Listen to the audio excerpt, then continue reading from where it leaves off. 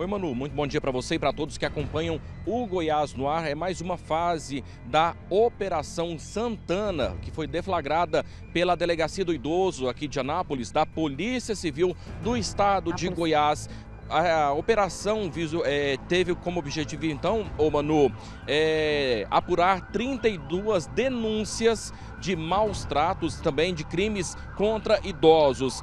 Ao todo, de acordo com a polícia, foram visitados 42 domicílios, 42 residências, tanto na cidade quanto em fazendas aqui de Anápolis. Os crimes mais comuns aí apurados pela delegacia foram os maus tratos, abandono e exploração financeira. Durante essa operação, a polícia prendeu duas pessoas, um, uma filha de um idoso e também um genro de um idoso de 62 anos. Esse idoso, de acordo com a investigação, ele é deficiente visual e auditivo. E essas duas pessoas, a filha e o genro, estavam apropriando da aposentadoria, da, da pensão desse idoso, inclusive deixando ele passar fome, com sinais de maus tratos e, além do mais, é, de acordo com a polícia, eles nem compravam remédios para esse idoso. Também foram resgatados quatro idosos com idades entre 81 e 95 anos. Esses idosos, eles é, são viúvos, não têm filhos também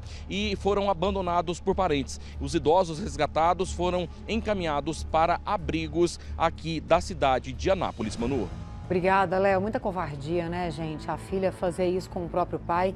E aí ainda vai lá e apoia, né, o companheiro, no caso, o genro desse homem, a fazer, cometer esse crime, além de deixar numa condição ali desumana, né? Usar o dinheiro desse homem, pelo amor de Deus. Será que não pensa em todo esse cuidado que esse pai deu para essa filha durante toda a vida? A gente imagina que tenha dado, né?